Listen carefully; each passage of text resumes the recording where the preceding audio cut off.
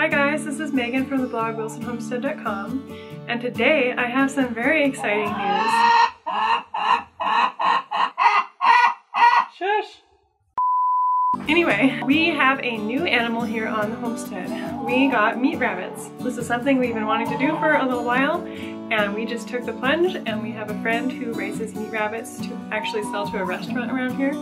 So we bought some breeding stock from her and so now we have five meat rabbits. We have four does and one buck. So we've just been setting everything up for them. Luke built all new cages that are absolutely amazing. He set up this super cool watering system and we had to buy them all new feeders and so we've just been busy getting them all set up and good to go and learning as much as we can about rabbits and what feed they need and what hay they need and we didn't know that they needed some wood in their cages to keep their teeth ground down and they needed a mineral block.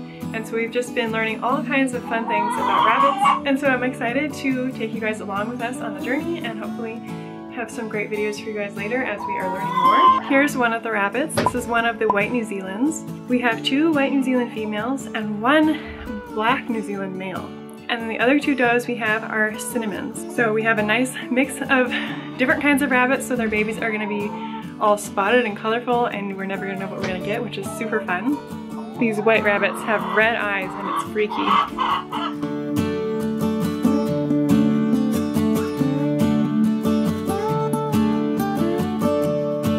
Here's the two little cinnamons. This is Latte and Mocha. They're still really young and they are so cute.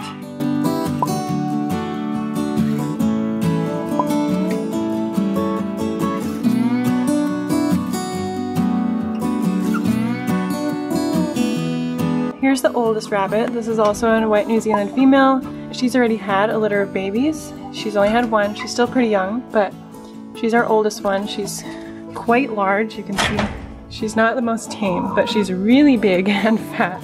And she has this beard of fat right here. It's funny.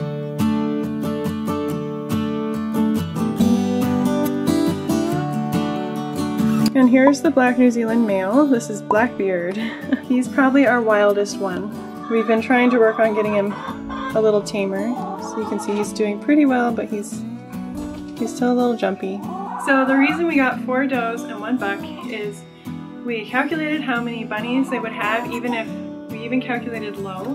We should get about 400 pounds of meat from them a year. So we can safely say that we'd have at least a pound a day of rabbit to eat throughout the whole year. As long as we keep breeding through them throughout the winter, we'll obviously give them a break in between so that the mamas can heal. But even with giving them a little bit of a break and then breeding them all year round, we'll be able to have pretty much all the meat that our family will need. We would probably still supplement with some grass-fed beef or pork if we could find some locally, but I'm super excited that our meat is pretty much going to be self-sufficient. This has been our dream for a long time to do this, and rabbits are just so low maintenance compared to a lot of other animals like pigs or goats. And so I'm really excited that we are going to be able to raise so much of our family's meat. So here's Blackbeard's cage, and I wanted to show you guys the watering system that my husband made. So there's all these tubes that go up to this five gallon bucket that's full of water and all the water runs down and there's tubes along all of here and then each one goes down to each cage. This is just a really cool way to make sure that they have their water all the time and you have to fill the bucket up so much less often and there's a lot of problems with the regular types of rabbit waters leaking a lot and we haven't had any problems with these leaking so I'm really excited about this watering system. Each of the rabbits has a little mineral block that's attached to their cage so they can have all the minerals they need. Here's their feeders. We get them some good organic non-GMO feed. So my husband built all these cages, which is pretty awesome. I love how they turned out.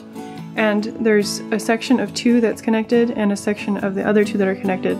So each of these sections of two can come out so that we can hose them out in the summer if they need to be washed. It won't be the most convenient to take them out, but it is possible, so that's why he built them in sections of two instead of just having them all connected in a line. Mr. Blackbeard's cage is pretty high up, but that's because this door won't open unless it's high. So it's a little bit cramped in this chicken coop. we had to move the chicken's nest boxes and build a different kind of perch, so it's kind of a step stepping stair perch and then they perch along this whole square here. So it's working out, but it, it is quite cramped in this little area because half of the chicken coop is a storage area.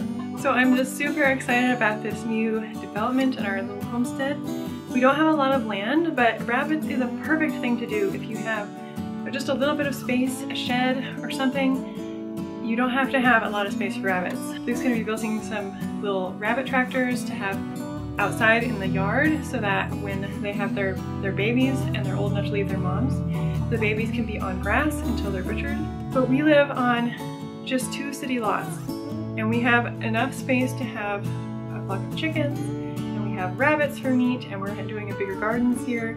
So we're doing everything we can on this little piece of land. Everyone's just got to do what they can do. So hopefully you guys enjoyed seeing all of our rabbits. I'm so excited for when they have babies. They're going to be adorable. We're going to have a lot of videos of baby bunnies, don't worry. And Sophia is absolutely in love with them. Anyway, I hope you guys are having a great day and I will see you in my next video. Bye!